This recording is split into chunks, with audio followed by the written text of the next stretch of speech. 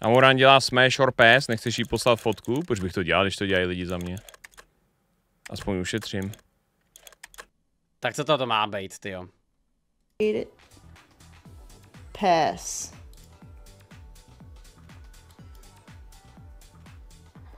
I love the Baldies. kind of a smash. Hate it. Ne, ženská chápe prostě. Ženská chápe. Ženská chápe. Je, jak se, jak se jako by říká, ano, je to tak. Pleš je něco jako solární panel, který dělá z mužů alfa samce. Ano, to jsem přesně já.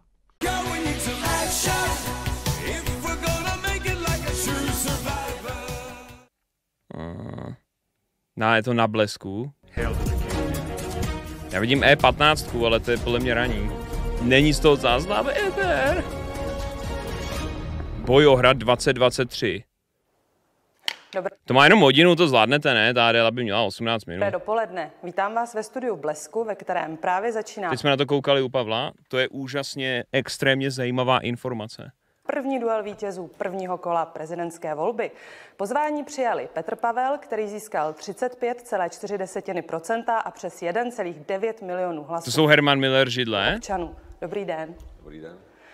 A druhý v pořadí Andrej Babiš, který získal 34,99% a o 22 tisíc hlasů občanů méně než pan Pavel. Tudíž ten rozdíl byl velmi těsný. Vítám vás. Děkuji za pozvání a dobrý den všem.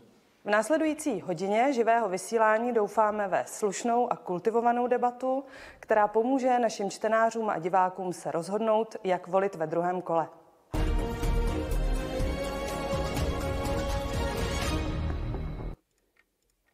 Tak já začnu u vás, pane Babiši. Celá republika je posetá eh, billboardy, které naši diváci teď uvidí na svých monitorech a na nich je napsáno nejsem voják, nezavleču Česko do války. Vy si opravdu myslíte, že pan Pavel zavleče Čechy do války, anebo jak koluje po sítích, snad dokonce bude mobilizovat české občany, aby bojovali na Ukrajině, což ani nejde? Eh, Tak ten billboard je hlavně o mně, protože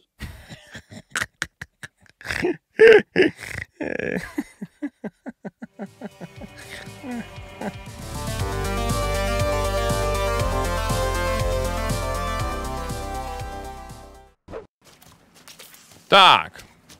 To ale furt nedostává dostatečný damage. Aspoň nějaký nerd je online. Valčos, jak můžeš napsat online s Y? To přece ani nejde do... To, to, to, to, to ani to ti nemůže prostě fyzicky tvůj mozek dovolit.